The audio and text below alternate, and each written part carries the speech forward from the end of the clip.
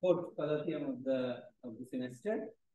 So Pratikda uh, is uh, BSc and MSc from Calcutta University and then went to TIFR, the High Energy Physics group for his uh, uh, doctoral degree.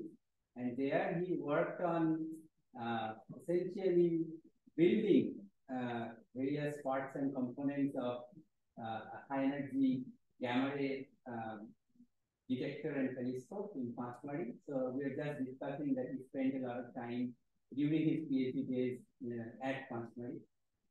And then after his PhD, uh, so he became an expert on all these uh, detection. So very high energy gamma ray detection. Uh, and then he, uh, first he was, so there are, uh, let's say, two very big uh, TeV astronomy facility in the world. One is uh, uh, owned by European uh, institutions, it's in it's called MAGIC. It's the telescope is located in the Canary Islands, and then there is another which is mostly used by American astronomers, and it's in Arizona. It's called Veritas. So Pratikda was at first a postdoc at MAGIC.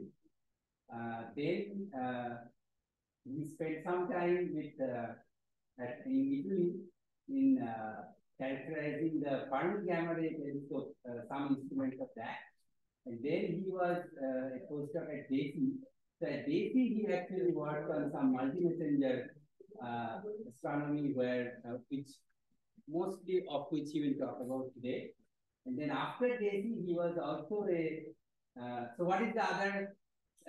what is the other? Other than MAGIC, what is the other name that I said about very good uh, TeV facility? Great, that's right. So, so he was a postdoc. So it's a it's an interactive introduction. so he was a, he was a postdoc at Veritas as well. Uh, he was uh, so Veritas also has a presidency alumna. Uh, Professor Reshmi Majumdar, who has uh, sorry, Reshmi Mukherjee. Uh, he so I'm just I'm on Majumdar's. so so he also gave talk at conference. Anyway, so after Veritas, Pratikda came back to India and became a faculty member at uh, Saha Institute of Nuclear Physics, where uh, he has been ever since. And uh, so, as I said, that Pratikda is one of the few uh, experts on TeV astronomy and particularly TeV instruments. If you talk to senior astronomers and administrators in India, they will always say that they are uh, India really needs instrumentalists who will work on astronomy instruments. So Pratikda is one of those elusive, uh, you know, people in India who can actually uh, work with with their hands, not just computers, but actual things, actual instruments. Um, and he's also, uh, uh, I, I cannot uh, say the exact name of the position, but he holds a uh, position in the in the MAGIC group, which is a sort of a worldwide collaboration for TeV astronomy and other follow-up uh, multi-wavelength uh, initiatives. So I think uh, papers that are written by the MAGIC collaboration at some stage has to go through uh, Pratikda. So you have to, so if you are writing TeV astronomy papers anywhere in the world, uh, Pratikda is probably see your paper at some point or we see. So with that, uh, let's not delay. And so we think that today we talk uh, about not just TeV astronomy, but uh, multi-messenger astronomy, because that's what we need now to understand our universe. First, uh, thank you, Ritaban, for an overly kind introduction. I don't think I deserve that kind introduction. it's really very nice of you to Yes. that. Yes. And uh, it's always a pleasure and honor to come and give a talk at uh, presidency. Yeah. Uh, several years ago, when we, I had just joined Saha Institute, and Ritaban and Suchetana had also joined presidency, I had come here. Huh. I I had joined here. I came and gave a colloquium also at that time, several years ago, and I'm exactly in the the other auditorium. I had given- This one is called PC, PC Mohalan. Oh, Mahalanobis So it's uh, it's really an honor to be here and uh, give uh, talks and colloquium to you. Okay, so uh, today the topic I'm going to and uh, also to tell you for the last several years, I have not been doing any instrumentation. I have switched almost from instrumentation to data analysis and simulations these days. So simply because, you know, to do instrumentation in India, it's such a ter terrible job sometimes i feel uh, with the purchases and bureaucracies and everything. I enjoyed it when i was a student because i didn't have to take care of all those things. My boss took care of those.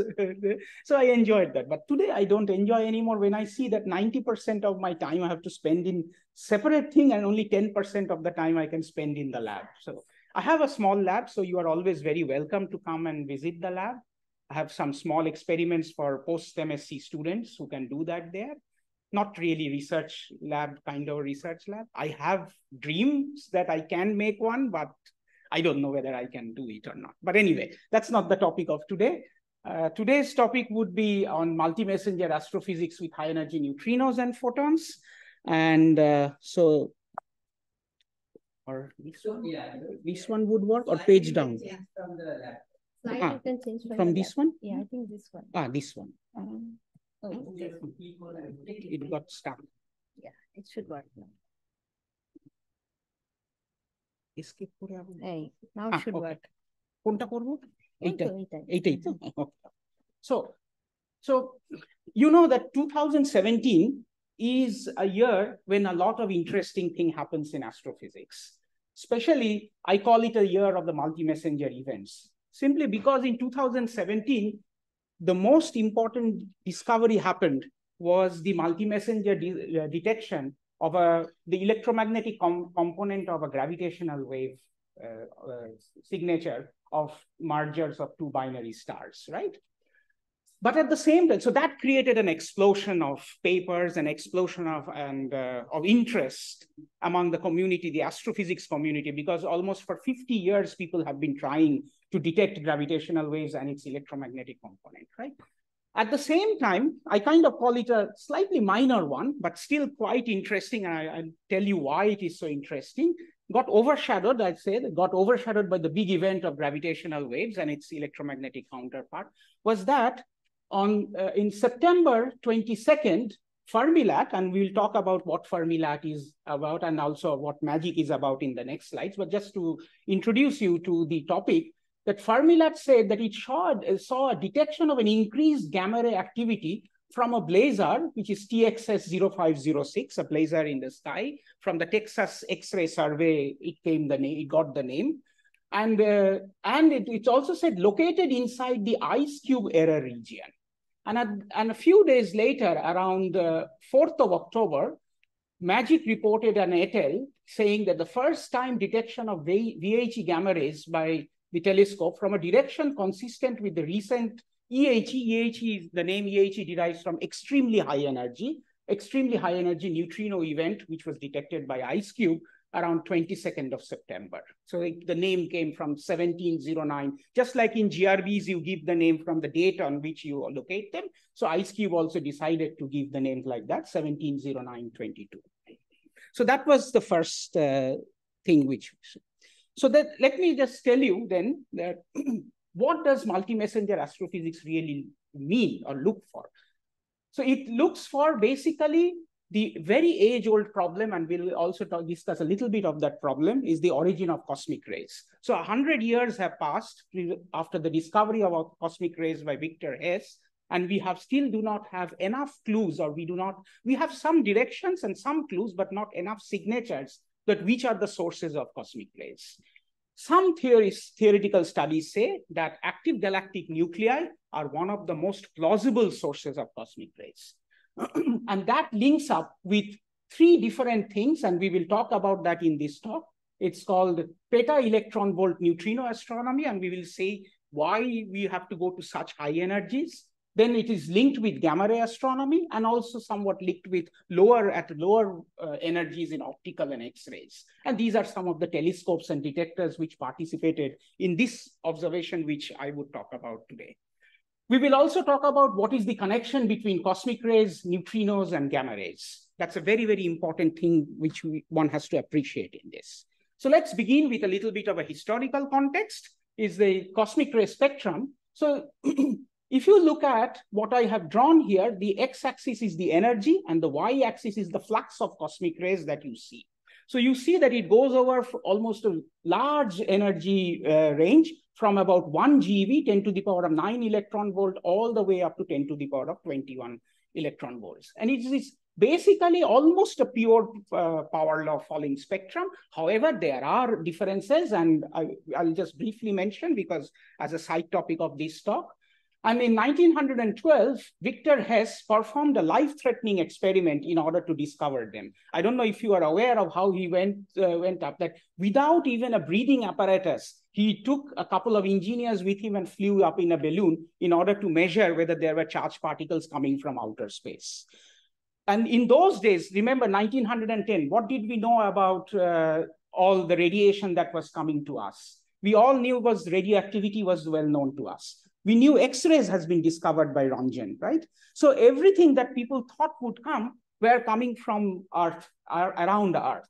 So the expectation was that if you go away in a balloon or whatever in, an, in a, a device up above the Earth's atmosphere, the radiation should slowly decrease. That's that's what you would want to uh, you would expect to find. So Victor Hess wanted to test that before Victor Hess, a few people had done that. Some people took a detector up into the Eiffel Tower, top of the Eiffel Tower, and placed it there.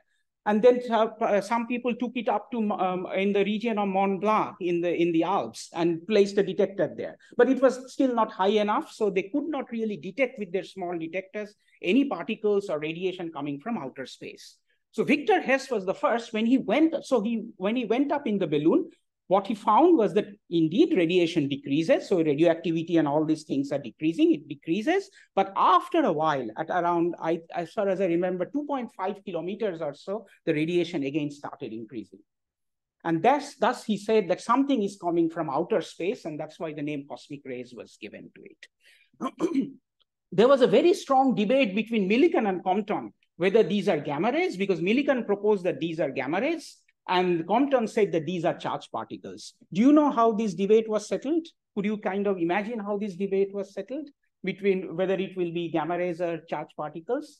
It's basically the magnetic field is different at the equator and at the poles. So if I go and measure the flux at these different places, I would know whether these are gamma rays or charged particles. And that's how people, after Victor Hess did this experiment, people started doing these measurements, and then the debate was settled in favor of Compton. And we now know that cosmic rays are basically charged particles. Okay, Victor Hess won the Nobel Prize in 1936. So now even open questions, even after, let's say, 100 years. So what I have done here is that I have plotted the same spectrum by multiplying the flux by e to the power of 2.5, right? You, you see here that I have done is e to the power of 2.5 multiplied by the flux, right? So now if the power law would be just 2.5, I would just see a flat line parallel to the x-axis. Then we start to see the features in the spectrum. It was not really any more parallel. We saw that it was still a falling power law with some deviations. So the spectrum started to steepen uh, at around 10 to the power of 15 electron volts. Then at around 10 to the power of 18 to 19 electron volts, the spectrum again started to flatten out. So it exactly happens like the leg of a person. That's why the name came, the name came was that this is the knee of the spectrum. And then the physicists gave the name that this is the ankle of the spectrum. That's how the knee and the ankle came. And people in cosmic ray who do pure cosmic ray physics studies actually try to study what is the composition around the knee, what is the composition around the ankle, how does particles get accelerated up to the knee or the ankle? So these are kind of the questions that we want to answer as cosmic ray physicists. So then the burning questions, as I said, that where, what and where are these sources? How are they really accelerated? How do they really propagate uh, to us? And as I said, that the knee and the ankle, these information, they carry information about the change in the composition and the origin of the cosmic rays that are cosmic rays only galactic in nature? That's also another question that you have to ask. Are they only within our source, sources within our galaxy or there are sources which could be coming outside, are there outside our galaxy or not? So all these things uh, started to move after the discoveries. And, but even after 100 years, after having done so many experiments, we are still not totally clear about what's going on there. Okay, Now let's look at a little bit of the theoretical part that how do cosmic rays get uh, accelerated. So one thing to remember is that highest energy cosmic ray, which is of the order of three times 10 to the power of 20 electron volts. Oh, there is one more thing I think I should mention for those who do particle physics, know a little bit of particle physics and keep track of particle physicists. Almost all the elementary particles from the 1920s to the 1940s, before the accelerators started to be built, were all discovered in cosmic rays all the ones, the positrons, the kaons, the uh, pions, everything was discovered in cosmic rays. And another point is that the Large Hadron Collider, which you all know, which is a man-made machine, huge machine, accelerating protons and colliding protons uh, at uh, TeV energies, stops somewhere around here. The center of mass energy would be something around few tens of TeV or so the center of mass energy. So it's an, also a very enigmatic question that what does nature do in order to accelerate particles so easily to 10 to the power of 20 electron volts or so, which we cannot do it in, in the laboratories really. So that's another very, very important thing to study. So, so that uh, theoretical work was initially was uh, kind of done by none other than the celebrated scientist, uh, physicist Enrico Fermi, who in 1949 wrote a very seminal paper gave, giving the first ideas on the origin of cosmic radiation, where he said that the that what it says that a theory of cosmic radiation he proposed, according to which cosmic rays are originated and accelerated uh, primarily in the interstellar space of the galaxy by collisions against moving magnetic fields. So that was his main idea that there are moving magnetic fields in, in my uh, galaxy. And then if a charged particle comes and hits it, and when it comes out after various collisions from the other side of the uh, of this uh, big uh, mass, it would gain some energy. And he did show by uh, calculating the fractional change in energy as one is a particle from E1 and P1 gets in and then comes out with E2 and P2, he showed the fractional energy. But however, what he showed that the efficiency of this, this fraction, the energy that is coming out is of the order of beta square, where beta is V by C, basically. Now, since beta, which is the velocity at which these cloud or big clouds are moving, is very, very small. Beta is much, much less than one the uh, incremental energy increase is very, very small. So you could accelerate particles, of course, but you cannot accelerate particles to very, very high energies. If I start with, with 10 GeV particles in a box, let's say this is my accelerator, this is my box, uh, or this is my cloud, okay, and a particle has entered, I have injected a particle of a certain energy, E1, which is low energy. When it goes out of the box, it cannot increase too much. It doesn't have too much of energy. So it was difficult to confine them inside this and then accelerate and to very high energies. However, later on, people started to think about this uh, in a more serious way. Again, Fermi in 1954, he modified his uh, whole theory, and then he talked about what are called astrophysical shocks, which are ubiquitous in astrophysics. So what he said was that the particles, let's say electrons or any other hadrons, would get scattered many times in this shock uh, front and then gain energy in each cycle. And by this, one could, since this shock could move with very high velocities, with this, you could accelerate particles to very, very high energies. And indeed, if you do the mathematical calculation, you would see that the final energy is now proportional to beta, where now this beta, the V, is close to the speed of light, right? Uh, uh, and so uh, you can accelerate particles to very high energies now, even if you start with a small, small number, small energy number. He also showed that the power that one could get a power law spectrum, not just he, uh, there were other peoples later on who talked about like Krymsky Axford and then others, Bell and Blandford and Ostriker in several. Uh, Fermi did not calculate the spectrum really. He only talked about the energies and that's all. He, and, and only gave the idea of shock front. The later people basically did all these calculations and uh, then derived the power law spectrum. And now we know that the predicted power law spectrum, it predicts about e to the power of minus two spectrum in cosmic rays.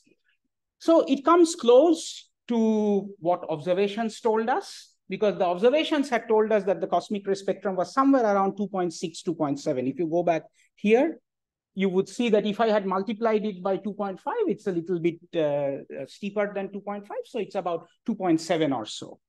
So the things came closer, however, still not up to the mark to 2.7, but then people started in introducing that these particles would diffuse, would have a diffusion. And so one has to take an energy dependent diffusion equation and then plug it inside in these diffusives. Uh, that is how the uh, thing of shock acceleration mechanism became a diffusive shock acceleration mechanism because you have to introduce diffusion inside it once you make this an energy dependent and make the whole calculation very complex, one could go and arrive at, at uh, 2.5 to 2.7 spectrum, kind of. But this is still, again, a matter of debate that whether the uh, energy dependent diffusion could be as high as 0.7 or not, or 0.5, 0.7 or not, is a matter of debate and a matter of work which is still ongoing in cosmic ray physics. also, the maximum energy and possible sites could now be calculated simply from Larmor confinement. And one could show that this was shown uh, as a, so if you have a magnetic field as a function of the size of the accelerator, one could show which could be the possible, plausible sites of acceleration where particles could be accelerated at high, to high energies. And from this maximum energy, one could calculate that gamma ray bursts, active galactic nuclei, or galaxy clusters seem to be the best candidates for very high energy cosmic ray studies. This was also done several years ago. One thing to note that these are primarily sources which are extragalactic in nature. Okay? So the galactic cosmic rays end up at a much uh, smaller energy, at a lower energy, which is close to the knee of the spectrum. And the highest energy cosmic rays come from, if you look at this plot, the highest energy cosmic rays would come from most of the sources which are pre predominantly extragalactic in nature. Okay, now, now came the question of can I pinpoint it back to the source? Can I understand what is the source of cosmic ray? And here became the big, became the biggest trouble because charged particles get deflected in the magnetic field. So if you have a, a, a, let's say a source, whatever, a supernova remnant or an active galaxy, whatever, which is giving out cosmic, accelerating cosmic rays, they would get deflected in the magnetic field. And then by the time they reach you with your detector on the Earth, they have lost their apparent source direction. So the whole thing has been scrambled. Hence, you cannot go back to the source anymore. However, if these charged particles would emit, uh, would uh, by interacting around the matter in these uh, in these sources, would emit photons or neutrinos, then and these photons and neutrinos would come directly to you. And then you can, if you can detect photons and neutrinos from these sources, then you, you can directly point back to the source and then you can model model the source and say that whether there were what sort of charged particles were there. And this is the connection between cosmic rays gamma rays and neutrinos. So what happens if you know a little bit of part if you have studied a little bit of particle physics you would know that a proton which are primarily the cosmic ray proton could interact with the nuclear uh, with the hydrogen or whatever is present around the around the source and produce pions. And then there are three types of particles produced. One is the neutral pion, which would promptly decay into two photons. And uh, it could all it would also produce charged pions, negatively and positively charged pions. And these pions would decay and would give you muons and neutrinos. And this is the birth of what, how neutrinos are generated in these cosmic sources. So what I what we say is that spatial and temporal correlations between neutrinos and gamma rays, if you study, can trace cosmic ray acceleration or interaction sites. And this is where our whole topic, today's topic is based on that. That we would look for sources of cosmic ray origin by looking at spatial and temporal correlations between neutrinos and gamma rays. Okay.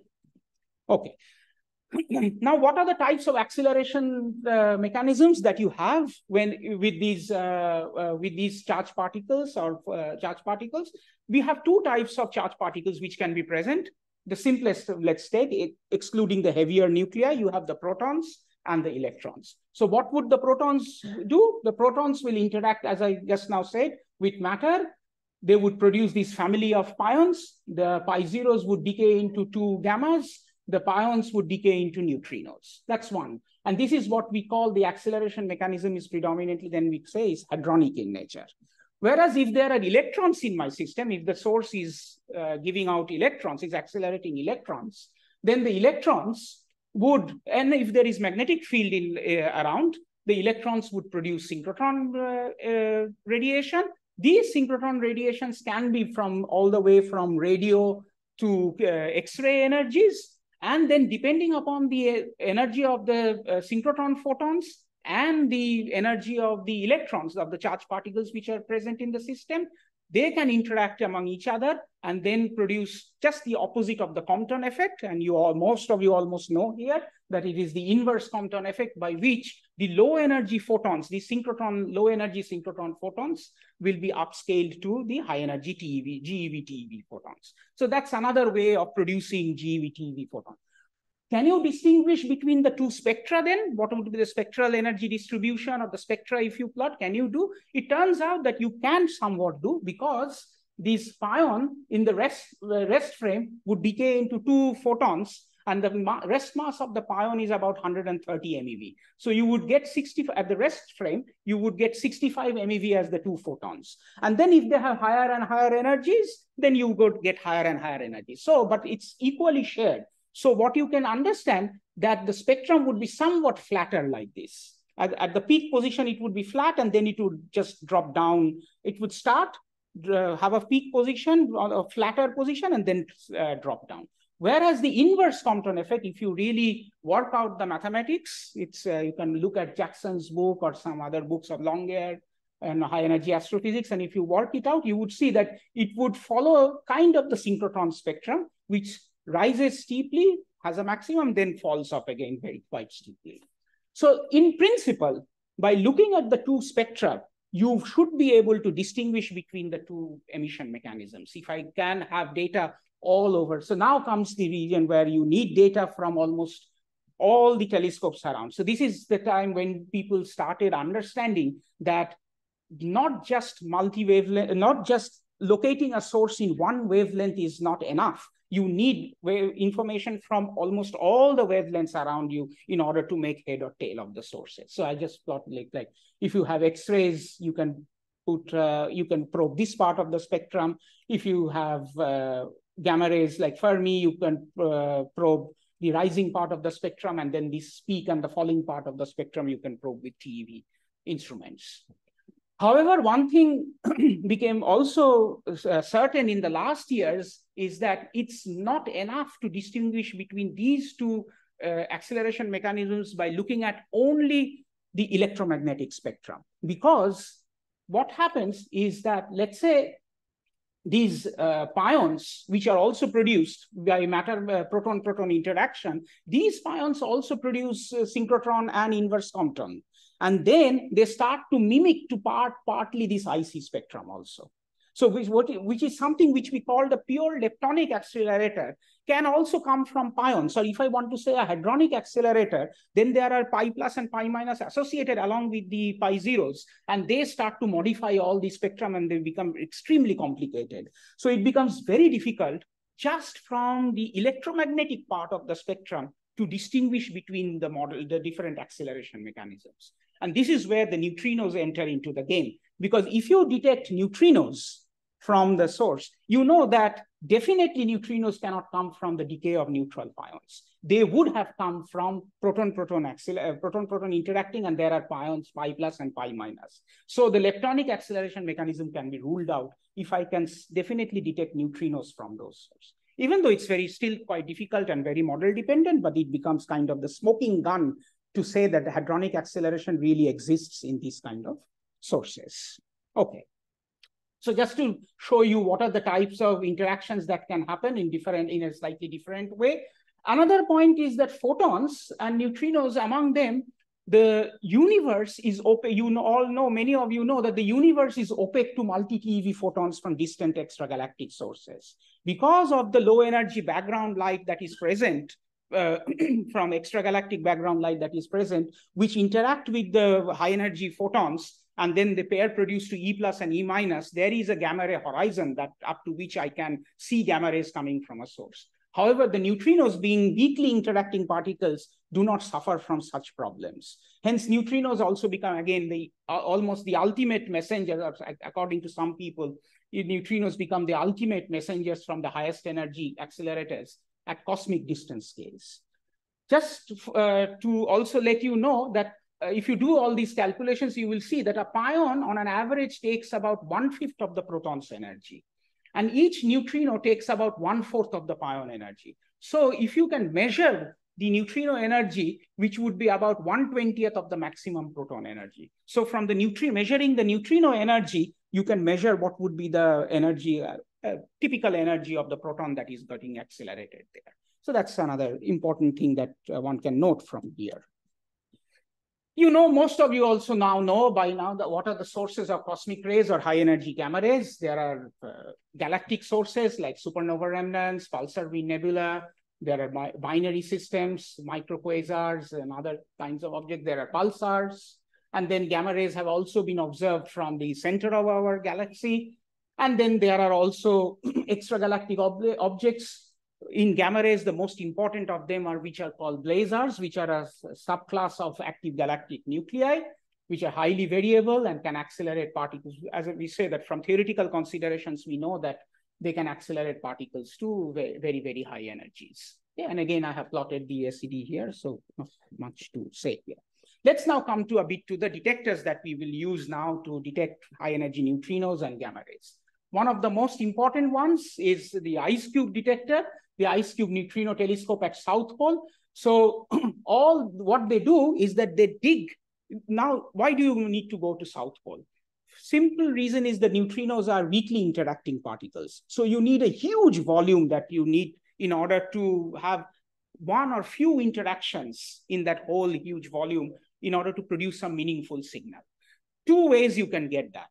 One is going to ice, one is going to water people have gone to water. So in the Mediterranean Sea, what people do in the sea, they put strings and the detectors into the sea at, up to the seabed, and thereby, and a neutrino comes and interacts in the water, and then it produces a muon, and this muon can be detected by, I'll show the pictures. A muon can be detected with these uh, optical modules that you have, the photo, basically the photomultiplier tubes. Here, what happens is the same thing is the ice. You neutrino comes and interacts uh, with the ice, and uh, there are these strings which are dug in the ice, made holes in the ice, and then you put detectors inside. And then along with these, in all these strings, you at various spaces, you put a cluster of photomultipliers. Why you put cluster of photomultipliers will be uh, clear in the next slide. so just to uh, complete the whole story that on top of this, they also have a cosmic ray air shower array called IceTop, for which they want to study cosmic rays, basically composition of cosmic rays at very, very high, uh, very, very high energies. Okay, so what happens here? So a cosmic neutrino, okay, a cosmic neutrino comes and interacts in the ice and produces a nuclear reaction. What it produces is basically a muon. A muon is again a weakly interacting particle, so it can move a long distance inside the ice. And here you see at various spaces you have what they call digital optical modules, but these are just clusters of photomultipliers. Now you know that if a charged particle moves in a medium with a velocity greater than the velocity of light in that medium, it emits Cherenkov light. This is exactly what happens here also. The muon travels with a speed which is greater than the speed of light in that medium that's in, in the ice, and it produces a Cherenkov uh, light. Cherenkov light is coherent in nature, and this Cherenkov, so it can be mapped by all these photomultipliers which, which are there. And these optical sensors or photomultiplier tubes catch, uh, catch the light. Why, from an experimental point of view, let me just, since I'm an experimentalist, so I try to uh, give you a little bit of flavor of experiments in the things. Why do you use photomultipliers? Why don't you use CCDs here? You could have used CCDs, one could have tried. The reason is that this Cherenkov light, the pulse of the Cherenkov, the rise time and the fall time of the pulse of this Cherenkov light is of the order of a few nanoseconds. It's two nanoseconds, two to three nanoseconds rise time and three to four nanoseconds fall time. So it's so sharp that you cannot, that's the reason why you cannot see Cherenkov light with your naked eye you need to have special devices in order to map that to see Cherenkov light. Photomultiplier tubes are exactly the same, these objects or these instruments which have response time of, of the order of nanoseconds. That's why, whereas CCDs are much, much slower, have slow response. That's why with CCDs, you can do optical light studies which are much slower in nature. However, with CCDs, you cannot do, we will not be able to map high energy muons, uh, the Cherenkov light coming from these high energy muons. Okay. Next, the other one, I will go very fast on this because almost all of you here know about the Fermi-LAT Observatory. It's uh, it, it is a detector in space which has three main components. It's basically a tracker to determine the trajectory. What the how does it make get the uh, information, the direction information? Because the Fermi-LAT telescope is not a pointed instrument. Most telescopes are pointed instruments, right? But this is a detector. This is a detector, also a telescope because it is moving in space, but it has a field of view which is very, very large. It's almost covering almost the, almost the entire uh, a uh, huge field of view of 2.4 steradians. So then how would you uh, know uh, something has come from this direction or that direction? That's because, let's say you have a photon coming and hitting, there are what they call conversion foils or silicon wafers inside. There are uh, stacks of silicon wafers. And this is what I was doing in uh, Italy at some point of time, measuring the performance of these silicon wafers many years ago. So you the photon interacts in this uh, silicon wafer converts itself into E plus E minus. And at each stage, it keeps a track, it leaves a mark in these foils. And then at the end, there is a calorimeter where it dumps all its energy. A calorimeter is a place where it dumps all its energy by producing a electromagnetic shower. So then if I have a reconstruction algorithm to find out the positions of where the hits came for each of these tracks, uh, each of these foils, then I can very well easily reconstruct back the direction in which it came from. And now you also know those who do Fermi analysis, why now you will be able to tell me when you know this, why the angular resolution, the direction resolution is poor for 100 MeV and it is very good for 10 GeV. Simply because at 100 MeV, it cannot produce enough hits to reconstruct back the direction very well. At 1 GeV or 10 GeV, it has enough hits in the detector so that you can eh, uh, to uh, get the angular direction very well. On the other hand, there is another problem. As you go higher in energy, the calorimeter is, uh, you have a limitation in the calorimeter. Hence, it cannot produce, the full shower cannot be contained inside the calorimeter. And hence some part of the shower leaks out. That's why the energy resolution, even though the angular resolution is very, very good in case of a 10 GeV shower, the energy resolution is a little poorer. Whereas for again 500 MeV uh, shower, it would be probably the both the angular resolution is good and the energy resolution is good. So there is a sweet spot where you want to analyze most of your data to get the best performance out of it. Then it uh, so it has a calorimeter, as I said, to measure the energy, and also it has an active shield because there are cosmic ray particles which are also going and hitting the detector and producing various types of hits here. And so you need an anti-coincidence shield, something which would be not in coincidence with the detector. And you can then say that these are cosmic rays and throw them out from the system. So let me come to the next. At higher energies, what happens at higher gamma ray energies? You use something which are called imaging air using a technique called the imaging air Cherenkov telescopes or imaging air Cherenkov technique. What happens is that let's say gamma ray shower comes and hits the top of the Earth's atmosphere.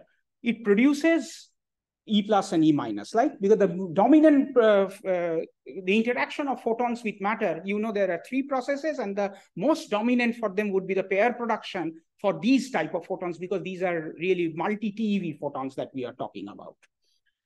now this E plus and E minus charge particle produces something which is called bremsstrahlung in the in the, in the field of the in the when it interacts in the nucleus of the the air molecule.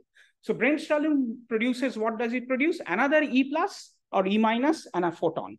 The photon again produces E plus E minus and again a bremsstrahlung process. So then a shower of particles start to happen. So that is how I shown here that the shower of particles happen and they happen till the time it cannot really do any more pair production. So this is the region which is called the height of the shower maximum, where the large number of charged particles have been produced.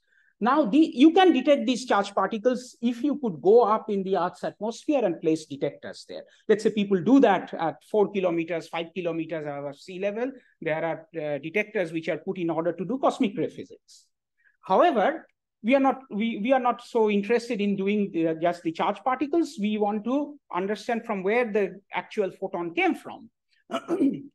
so again, here we utilize the uh, the technique of exactly what the neutrino was doing in ice, the muon, the uh, producing a muon, and the muon was producing Cherenkov light. Here we employ the same thing. The charged particles, which are predominantly electrons and positrons, if they are moving with a speed greater than the velocity of uh, light in that medium, they would again produce Cherenkov light in air. And this Cherenkov in light in air is about one degree in, uh, if you calculate is very easy. Those who you know all from your master study that uh, cos theta is one over beta n uh, for Cherenkov light. Then it produces a pool of light on the ground at your observation level. And then if you produce, put a telescope, these telescopes are nothing but just mirrors.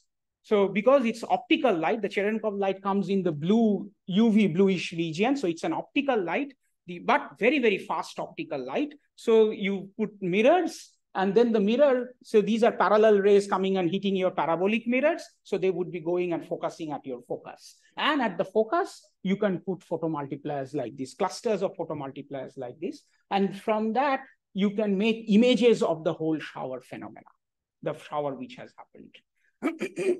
and from that you can, and using those, you could uh, get the arrival direction, energy, and all that. So I'm not going spending too much time on that. That would be another talk some other day or later on if you ask me questions because I want to come to the uh, actual uh, physics one, which would be which is far more interesting to look at.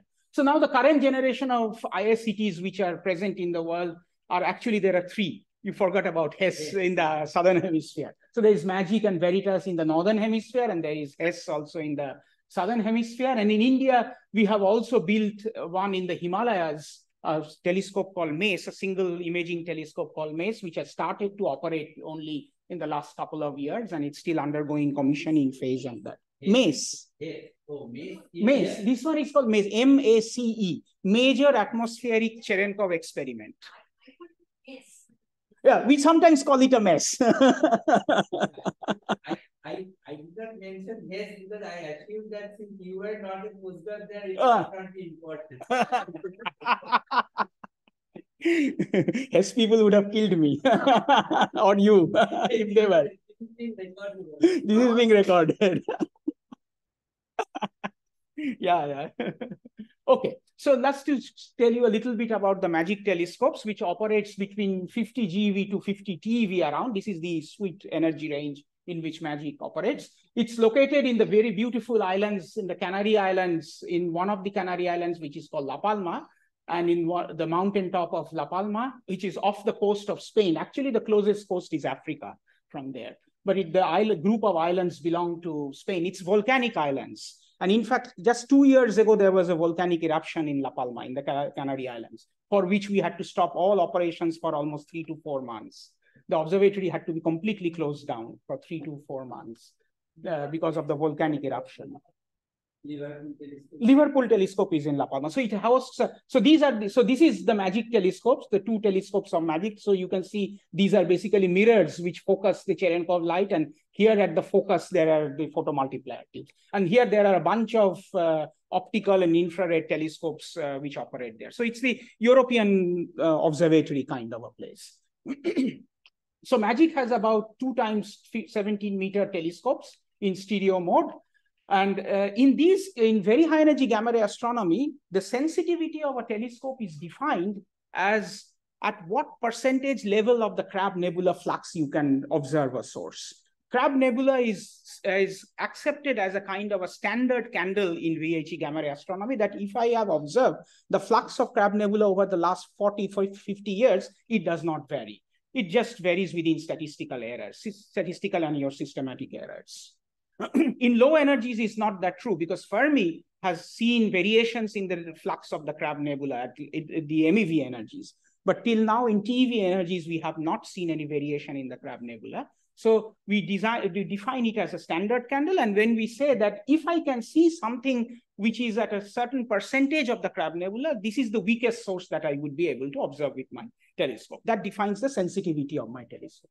So MAGIC can detect slightly less than 1% of the Crab Nebula flux for a source in about 50 hours, and the detection significance has to be greater than something called 5 sigma, okay? so in if you translate it into a layman's words, you can see TeV gamma rays from the Crab Nebula uh, in, with uh, MAGIC in less than about two minutes. Why I uh, say this is that, let's say today is about, when I started doing my PhD 25 years ago, it took the telescopes which were there at that time, took about 10 to 15 hours to detect Crab Nebula flux. So, and then 10 years before, when the first imaging telescope was built by the Whipple telescope in 1989 and they detected the Crab Nebula, they took 50 hours to detect uh, flux from Crab Nebula. So you understand the importance of doing technological innovations and doing experiments. Over 30 years, we have now gone from 50 hours of observation of one source to looking at a source in just about two minutes now. So when I started doing my PhD, we didn't think that we could complete our PhDs because there were only three or four sources in the sky at that time. We thought that we would never, that's why we spent all the time in instrumentation trying to improve the sensitivity of our telescopes. We had no physics, really physics to do. We could not do much physics with it. But today you can. Today with this, you have so many sources in the sky with Fermi and uh, MAGIC and HESS and Veritas. Today it's a good time. You can do a lot of physics with it. I am reducing the noise level. So no, uh, the, the, sensitivity depends on another, uh, another thing. What are the two levels of noise? If you ask me the thing, one is the night sky background. This is your noise because the Cherenkov light has to override over the night sky background and the man-made background over, over. That's one that you have to reduce. That you can do by building the hardware of the instrument ingeniously. But still, then there is an additional problem. Cherenkov light is produced not just by electromagnetic showers, but hadrons also would produce Cherenkov light. Hadrons, when they interact in the Earth's atmosphere, would also produce pions and muons and all these kind of things. And they would also produce Cherenkov light. So you have to distinguish between what is a Cherenkov light coming from a purely gamma ray shower and what is a Cherenkov light coming from a purely hadronic shower. That distinction also requires a lot of analysis techniques to be developed and also a lot of hardware uh, thing to be developed. So two things you have to do you, in improving the sensitivity. One is what you said, the noise level, the night sky background has to be killed, smaller, it has to be made smaller and smaller. And then the identification of a particular event to be hadron-like or a gamma-like has to be done based on certain parameters. Not the night sky level. You have to kill the night sky background in your hardware so that when you record, say, let's say I have a detector which should start to record. I should design the detector in such a way that it would not record night sky background, but record mostly Cherenkov light. Identifying the... Exactly. Identify. I have to build my system in such a way that most of the night sky background should be killed and only the Cherenkov light should be captured. And there are ways to do that. Uh, there are very nice ways to do that. Exactly. You, you take the advantage that Cherenkov light is coherent in nature. It follows Huygens construction principle. Night sky background is just random in nature. It does not follow any, any such uh, construction principle. So using that uh, methodology of Huygens construction, you can design your hardware such a way that you would uh, reject most of the night sky. Some amount of night sky background will be there, but you will reject most of it, but you will take in most of the Cherenkov, identify most of the Cherenkov light. Once you have done that, then the next problem comes that you have to identify whether this is from a gamma ray shower or a hadron light shower. And this is where a lot of machine learning algorithms are being used these days. Machine learning algorithms are used in order to identify what is what based on various certain parameters of the of the shower. So somebody who is interested in machine learning would find a lot of work here, actually. Okay, so now let's come to the flux. So remember, I have told that spatial and temporal relation between cosmic rays, neutrinos, and gamma rays should give us uh, ideas about the origin of cosmic rays. So what you need to do is to develop a program which is which we defined as the neutrino target of opportunity program. Just like in multi-wavelength, you have TOOs. Here I am having a TOO, but using neutrinos only. What would that program be? That if IceCube would detect a neutrino above a certain threshold and it identifies that this is of astrophysical origin. It could be of astrophysical origin because neutrinos could be, uh, neutrinos can interact and produce atmospheric, uh, uh, cosmic rays can interact and produce atmospheric neutrinos. And those atmospheric neutrinos are not cosmogenic in nature. So I have to identify, classify again neutrinos that these are cosmogenic in nature, and then I give a trigger. I send an information to the gamma ray telescopes. Look, I have detected over a certain threshold neutrinos from this direction in sky. Can you point back to that source, uh, point back to that region and see? so this I started, this was the time uh, in during my postdoc I did between 2007 and 2010 with uh, PI Elisa Bernardini and other students and other postdocs in the group, we started to design and find out what would be the type of alert rates from background that would come, how will we implement this alert and all these kind of things we were doing at that time. So now a lot of time has passed since April 2016, IceCube collaboration began releasing real-time alerts of detections of high energy neutrinos. so one could now start doing the search for neutrinos correlated with, let's say, gamma ray blazars, because if blazars are one of the most plausible sources of neutrinos and high energy gamma rays. So here is a kind of, I put a list like what are the types of energies, from which declination, which right ascension, what is the angular error with which IceCube can measure these uh, things, because the IceCube detector has a poorer angular resolution than the gamma ray uh, detector. So quite often you will see, you see the error is almost 10, 12 degrees. It's almost impossible to point to that uh, region in the sky and locate, because there would be hundreds of sources probably there. So you have to pick and choose which one you would want to uh, observe and which you have do not want to observe. So till 2017, there was no clear detection of a neutrino, wave, uh, neutrino with other wavelengths.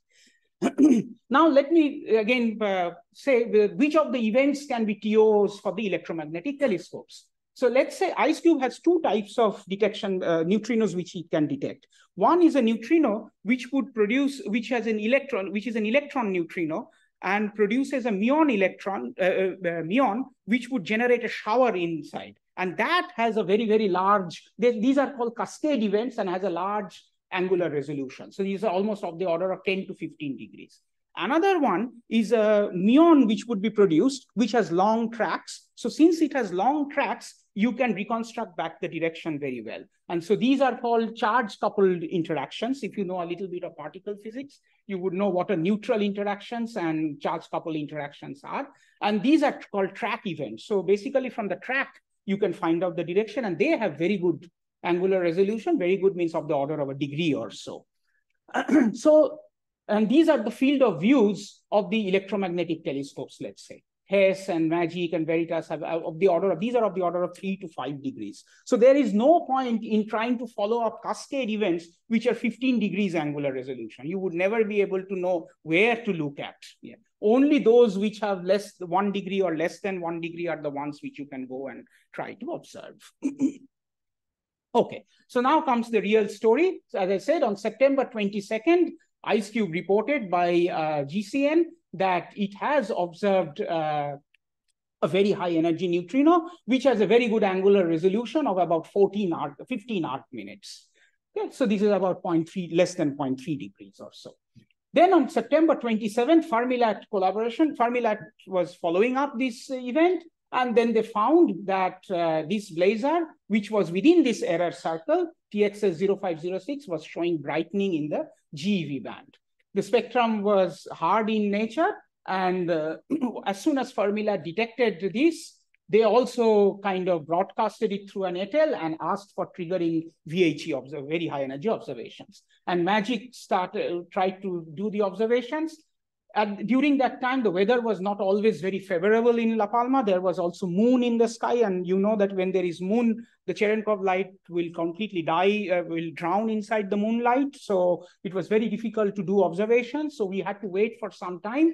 And then on 4th, we did some little bit of observations on previous nights following this 27. Actually, following the IceCube alert, we had already started to observe this source. But then Fermi-LAT gave us a second trigger, and then we started observing. And then at around on 4th of October, we detected a flavor, uh, flare from this uh, from this blazar. So I'll show you now the uh, light curve and all that. So this uh, created a flurry, and then other observatories were alerted, like the opticals and uh, Swift uh, X-ray telescopes, uh, Swift and NuSTAR and others were all alerted, and they all started to see uh, flaring activity in all that. So, so a host of ATels were generated in the next few days or in the weeks uh, to follow. okay, so this is kind of now the first uh, light curve which we tried to produce. So the light curve, as you, as you can see, in the initial part, it had no detection. And then slowly it started to detect the flare, and then there was the flare. And this was the ATel when Magic said that there is a flare, and then the flare kept on uh, rising.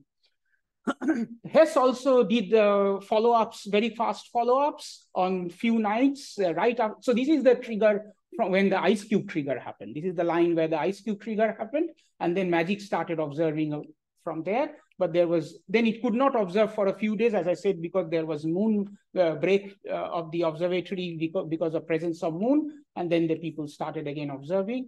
Veritas also observed with several hours of delay. In the initial stage, they did not detect anything. However, they detected later on, much uh, uh, later on.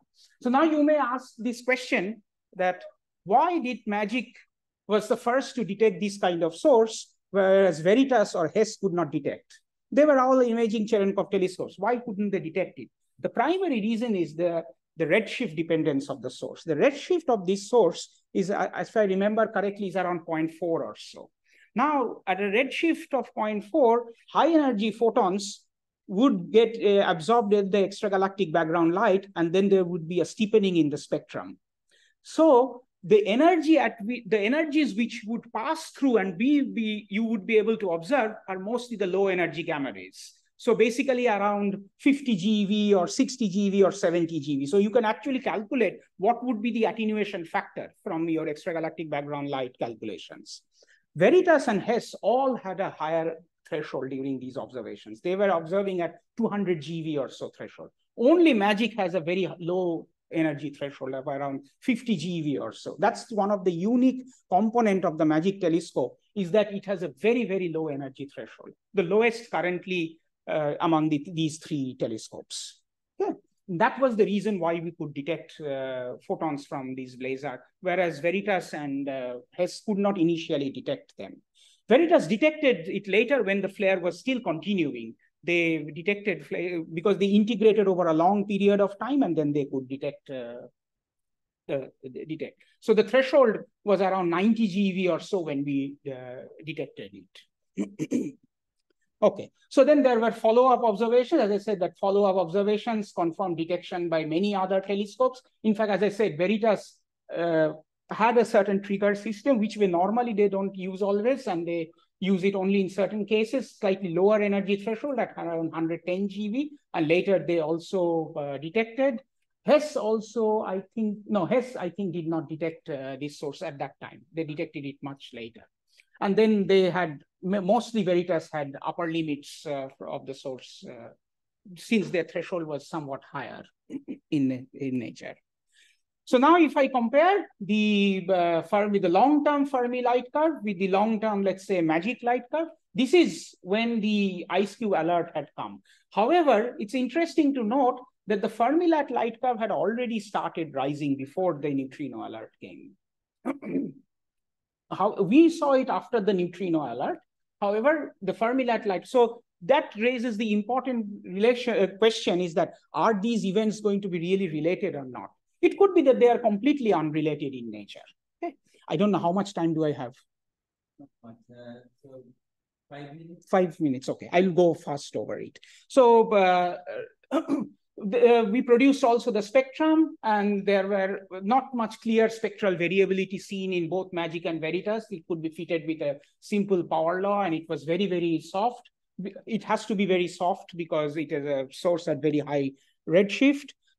there were, as I said, there are other telescopes, the optical ones and Swift X-rays, which were also an OVRO radio telescopes which are, were also there, which were observing. Many of the, the X-ray telescopes also, X-ray telescopes were not observing it at that time. They had to be triggered and later on they also showed uh, flux variability in X-rays and also a little bit of flux variability in uh, optical, but not much variability in optical.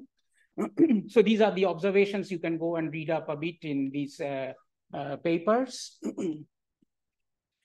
and then uh, IceCube, Fermi, and uh, Magic events, we made the spatial plot of where the exactly the events are coming from, and we can show that within the error circle of Ice Cube, IceCube, Fermi-LAT, and Magic, this is the TXS within the confidence of with confidence of 90% confidence, we can say that this is a fluctuation which is disfavored at around three sigma.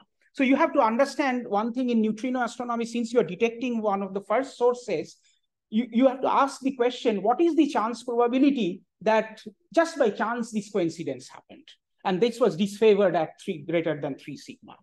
Uh, one could calculate the energy of the neutrino, which was about 300 TeV, an upper limit of about 4.5 PeV, which depends on the assumed spectrum of neutrino, neutrino spectrum that you use.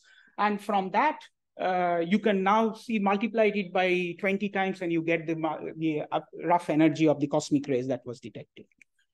People produce the SEDs. So uh, almost a large number of people who were ready with their models started fitting the data. So you can see almost like eight or 10 papers came out within a couple of months or so. As I say, explosion of theoretical papers in the arXiv in the next days.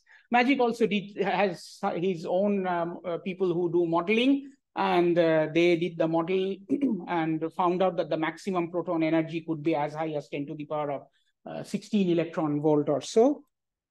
Uh, there are various alternative scenarios. People had even fitted with the concept that there are no neutrinos. So the neutrino doesn't is not related with the anything with the Fermi-LAT or the MAGIC observations. You can actually get uh, a good, uh, reasonably good fit even without having any neutrinos, just with a leptonic scenario.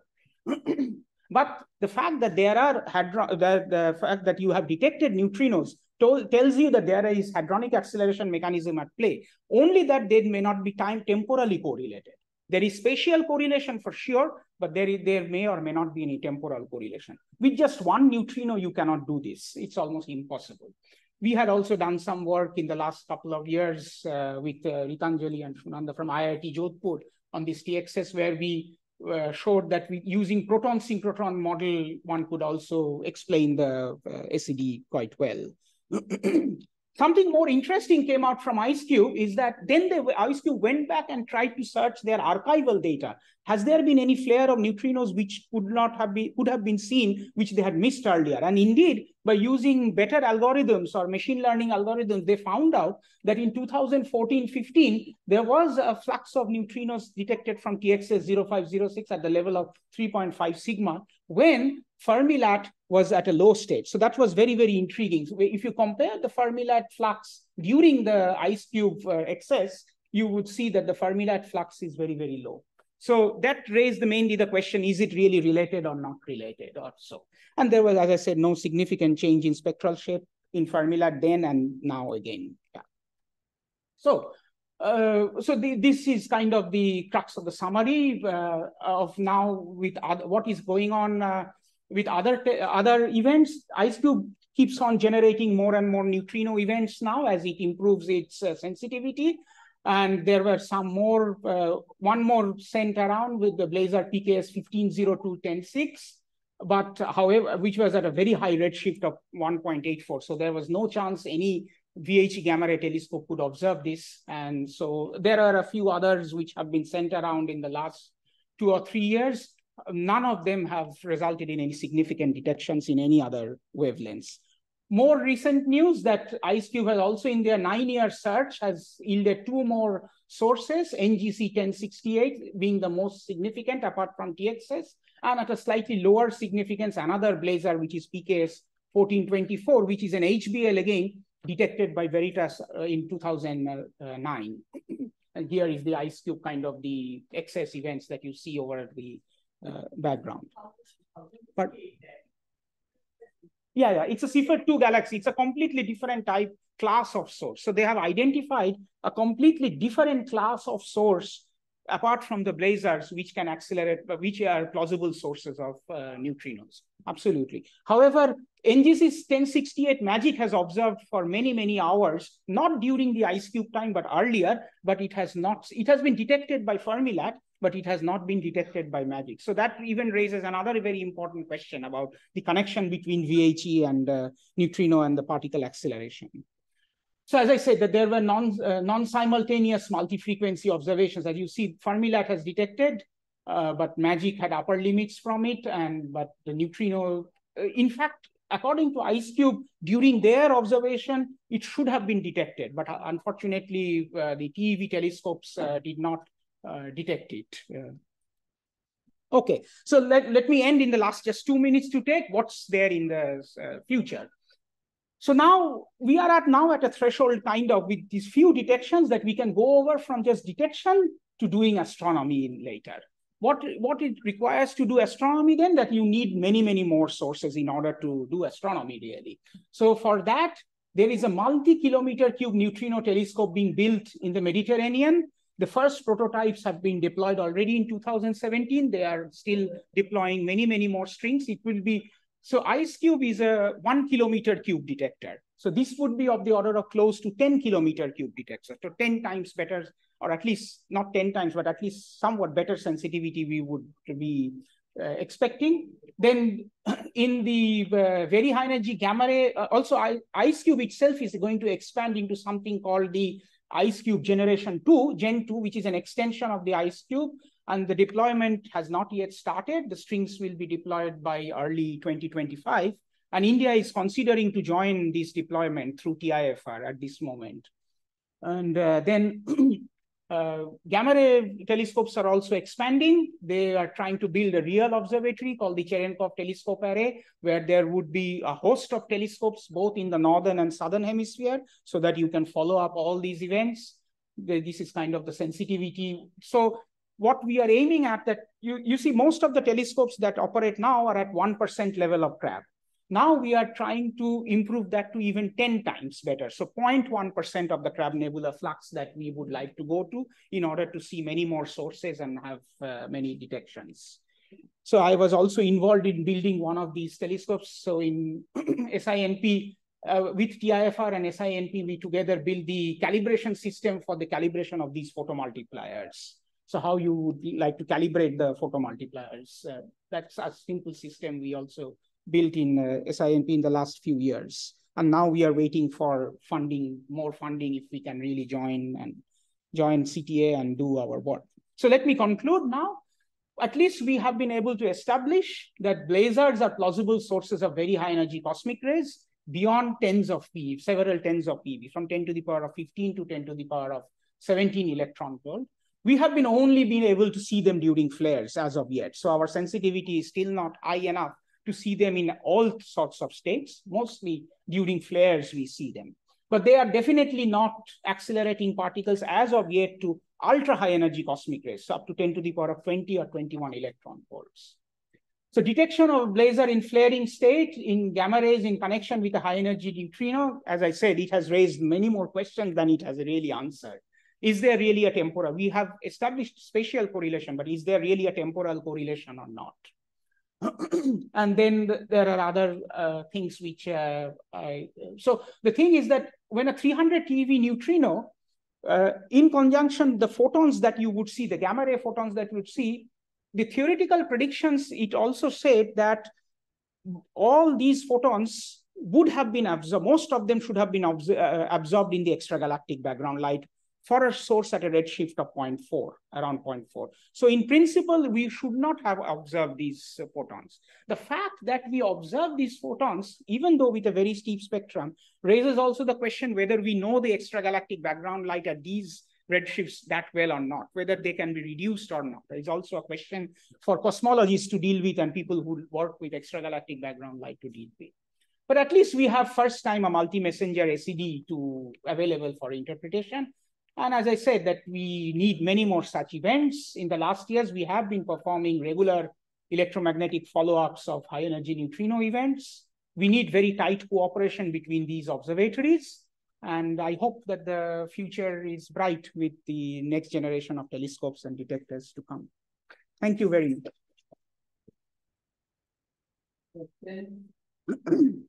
yes. Huh. Oh, I think he just laughed, right? Okay. A very nice talk, sir. So, uh, I have two questions. One is, uh, can you please uh, elaborate on uh, uh, on the fact that uh, how do we uh, how, how do we get to know uh, if if the neutrino is coming from the atmosphere or it has a Ah, cosmic okay, okay. source? So I do not, I do not think I have a slide on it, but I'll try to answer it uh, uh, in a certain way. So the neutrinos which pass all the way through your earth and hit your detector are the ones which are the most has the most highest energies and they are the ones which are not going to be getting in your uh, produced in the atmosphere so the atmosphere the neutrino that produce are produced in cosmic ray interactions in the atmosphere have an energy which stops prime it follows a much steeper spectrum. It has a spectrum of 3 to the 3.7 e to the power of minus 3.7 and they basically stop around 100 TeV or so. That is why most importantly you see that I, I was hinting at that PeV neutrino astronomy. Only you can do start to do this type of identify these neutrinos as cosmogenic because you are going to much higher energies to uh, to what the atmospheric neutrinos could be so that's one that's the one way to uh, do that in order to say whether TV neutrinos are present or not, you need to do many more analysis and algorithms building to do that. Just from physics considerations, you would not be able to say directly that. Okay. You said one more question you had. So, uh, apart from uh, having a lower threshold uh, for a MAGIC, what is the difference, fundamental differences between these three uh, Okay. neutrinos? So, basically, I want to know These three telescopes. These three telescopes, uh, which are detecting neutrinos. So basically, my question is, why do we need more and more, uh, like, multiple uh, neutrino detectors? uh, Okay. These are gamma ray detectors. Sorry. These are, why do you need multiple? Okay, okay. So the idea was, so the idea were there were two things. One, the field of view of MAGIC, if I go back and you will see this one. It's the same reason why you need more. Yeah, that's one thing, but I'll tell you also one more interesting thing. You see here, the field of view of HESS is five degrees, whereas the field of view of Veritas or Magic is 3.5 degrees. So they have a smaller field of view. Magic, by going for lower energies, was specifically intended to build to study point sources more. Whereas HESS, going to the southern hemisphere, that was the motivation of HESS going to the southern hemisphere, because in the southern hemisphere, you see the galactic plane very well. You would identify supernova remnants and other these type of pulsars and pulsar nebula, which are more extended objects. And for that, you need a larger field of view. So that, that is the reason people actually, Magic and HESS comes from their same predecessor experiment called HEGRA, which ran in the 1990s. Then they kind of bifurcated in two directions. They wanted to build two different types of telescopes. One said that I want to reduce my threshold, and so I would need a larger telescope, which is 17 meter. Whereas HESS said that no, I want a larger field of view, not a large uh, collecting area, but a larger field of view because I want to study extended sources. And they went to the south to study galactic sources. So HESS has a smaller number of telescopes. So it has four telescopes, but 12 meter telescopes. So the physics considerations were slightly different in which they did that. But Hayes only seen the, uh, whatever you see in the correct? MACE. Hayes- No, Hayes did not see simply because you know they were from the they were in the southern hemisphere. So to locate something in the northern hemisphere, they are at a higher zenith angle. Once you go to a higher zenith angle, your threshold also rises. The because the photons, the showers which are produced at higher zenith angle travels through a bigger mass. So the threshold is higher. That's why they could not detect it, actually. Yes. Yes, so thank you for the talk, sir. Uh, my question is actually very much related to what Rohinatha just asked, that uh, uh, you classify the neutrinos which are from the atmospheric sources or which are from the cosmic sources. Now, um, in the cosmic sources, there are many other sources apart from the one which we are di- focusing on. So how do you differentiate between those? Like uh, there could be neutrinos from sun or any other sources. So how do you differentiate between? No, because these are sources which you know in your error circle which sources are there. Sun is somewhere else. I see with it, It's it's a telescope. It, even though it's a static detector, it's a static detector, the sky passes over it. So you can detect neutrinos coming from, you can bin your sky in different zenith angles. And within that bin, you can try to detect how many neutrinos have come from this bin. And you and you see if within your angular resolution there are sources or not. And you uh, measure the excess above the background. Here the background is the atmospheric neutrinos or other cosmic ray background, which are there, other muon uh, background which is there, above which you see a signal but you have the signal within an error region of about one degree or so. And within one degree, you see what is the most plausible. Then you do a spatial correlation. So there also there is a threshold limit the uh, beyond which we uh, do the ones which is from the uh, directed source or from the other cosmic sources. I mean, uh, is there some sort of a limit, uh, like the, we just eliminate the cost, other cosmic source neutrinos uh, within that limit and uh, specify some. You are trying to say whether there would be, what is the probability that a neutrino will come within my field of view from a different source than what Exactly. my, where, Yeah. where my source is. You have to take that into account. That's why you do have to do a, a calculation. That's, that's what you call the trial uh, calculation. Okay. So, so this picture would kind of tell you a bit about that. I couldn't, uh, because of lack of time, I did not spend, ah, here. Is some. Yeah.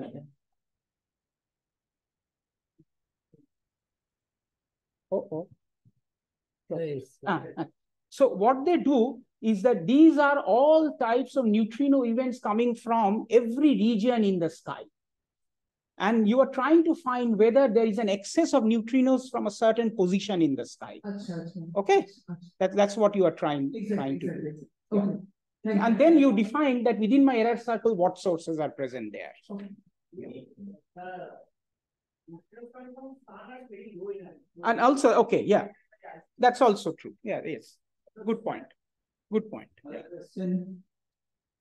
So sir, thank you for your nice talk. So I have very basic question. So in your last slide, you you used the term flare. So what is it? Ah, what is a flare? Okay.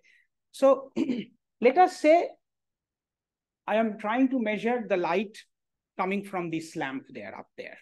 And I try to measure it over time. Today I measure, tomorrow I measure, uh, for 100 years I keep measuring it. Okay. And then I try to find out, is there a variation in the flux of that photons coming from that? If I start to see some variations from that, I would now need to quantify at what level I have seen these variations. Is it as a three sigma level? Is it at one sigma level? Is it? So I can put a certain threshold of this of these on this variation, and then I can say, let's say I say that if the flux goes two times the average flux that I have measured over my 10 years of observation, I would call this a flare.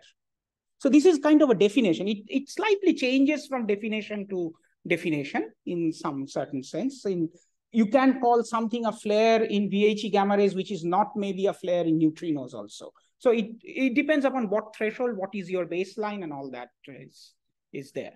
But basically it's measuring the variations in the light curve that we Thank you. My second question is that you mentioned uh, in the case of IceCube detector, so there are also charged particle coming, and the neutrino is also coming, and you said that, okay, so I have used, uh, um, I mean, uh, shield to distinguish the charged particle. not in case of IceCube. The reason why you build IceCube below the ice is basically how many charged particles do you think will go below Earth's surface and uh, produce uh, yeah. Remember your DE dx curve of charged particles in nuclear physics or you have studied. So this is the natural shield. This is the natural shield. Mhm. Whereas in Fermi-LAT, you need to build a shield. Because you are in space, there are charged particles. So you need to build an anti-coincidence shield in order to uh, eliminate the charged particles. Ah, for Fermi, I think you are referring to Fermi, this one when I said this. For Fermi, you need to build an anti-coincidence shield. So what you say is that I, I, so what is a coincidence circuit? It's like, let's say if I have two detectors, let's say I have two, this one as a detector, and I have another one side my detector. I have an event which hits this detector and also produces a signal in this detector. The same event produces. This, if I put in a coincidence, so in electronic terms, it is one, one, the output is one. If it is one, zero, output is zero. If it is zero, one, output is zero. That's a coincidence circuit. The anti-coincidence circuit is just the opposite of it. That's all you need to build to shield. Okay.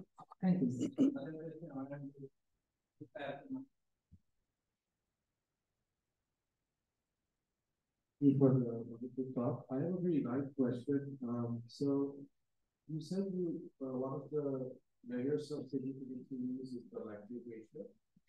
And so I, my question is, does it make sense to also uh, construct prior ratios based on the rates of these events, which can, You mean prior list of sources? yes. Yes, IceCube does that also. So Combine that with the likelihood to get Yeah. something like this. Exactly. So, so let, let, let me explain what a little bit more in detail what IceCube, even though I'm not an, anymore in IceCube collaboration, so I may not be saying everything very correctly or not, but at least the ideas I can try to give you is that one thing you have